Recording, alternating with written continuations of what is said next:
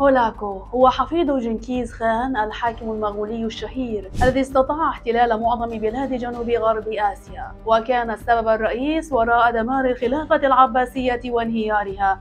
شخصية قاسية تحقد على المسلمين. تلقى تعليمه على يد كاهن مسيحي ومع ذلك لم يدخل في النصرانية أبدا إلا أنه كان مواليا لهم وكان يدعمهم ويحميهم.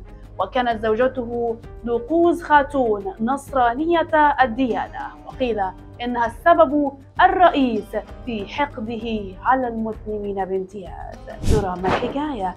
سأحكي لكم الحكاية. أنا هايدي يسري. أهلا بكم. قضى هولاكو على الخلافة العباسية عندما أرسل إلى الخليفة المستعصم بالله يتهدده ويتوعده.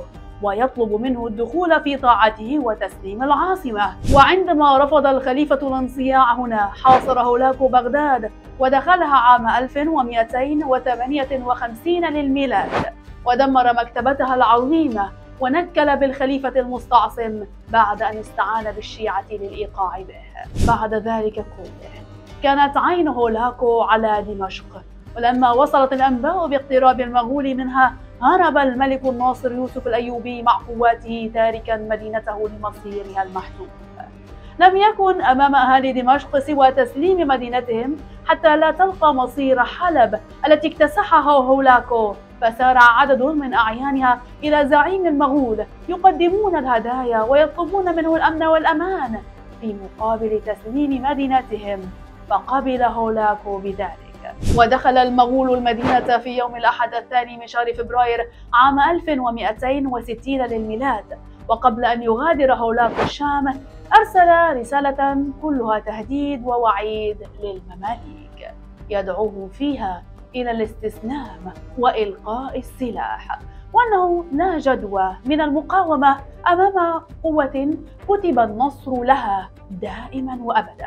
غير أن السلطان قطز لم يهتز لكلمات هولاكو بل وخرج ليخطو في الجيش ولم ينتظر قطز قدوم المغول.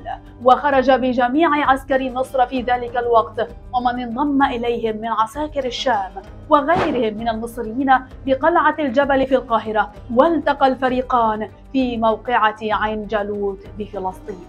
وانتصر المسلمون على المغول ومحوا الجيش التتاري المهاجم عن بكرة أبيه بسبب دهاء المظفر قطز وشجاعة الظاهر بيبرس في المقابل حاول هولاكو أن يثأر لهزيمة جيشه في عين جالوت ويعيد للمغول هيبتهم في النفوس فأرسل جيشا قويا إلى حلب فأغار عليها ونهبها لكنه تعرض للهزيمة بالقرب من حمص فارتد إلى ما وراء نهر الفرات. أثرت هزائم التتاري على هولاكو فرحل عن عمر يناهز 48 عاما. ذلك في اليوم التاسع من شهر يناير عام 1265 للميلاد. بالقرب من مراغة رحل على دينه. كان رحيله نتيجة إصابته بداء الصرع.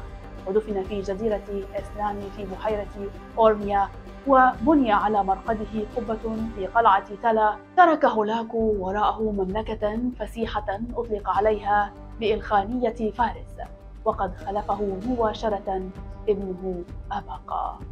العالم بالطبع مليء بالمفارقات. هل كنت تعلم؟